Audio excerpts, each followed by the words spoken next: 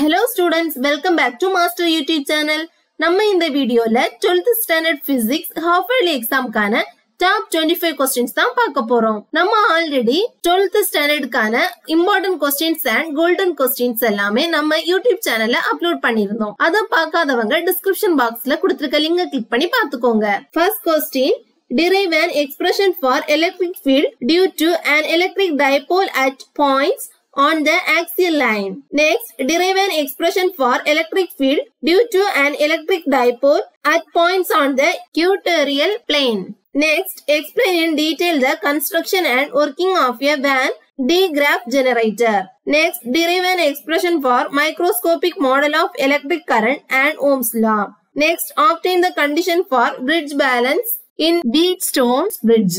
Next, explain the working of a single phase AC generator with necessary diagram. Next, explain the construction and working of transformer.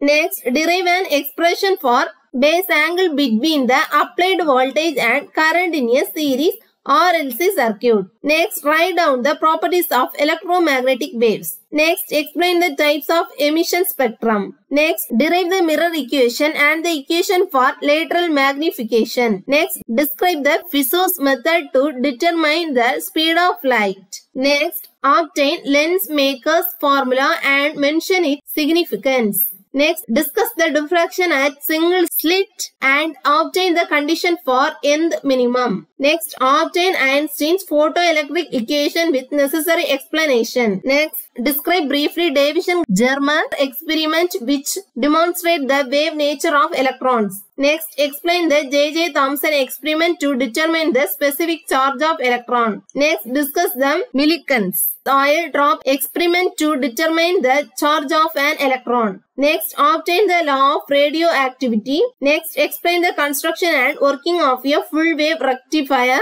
Next, transistor functions as a switch. Explain. Next, state Brewster's law. Next, write the properties of cathode rays. Next, state and prove De Morgan's first and second theorem. Next, distinguish between nanoscience and nanotechnology.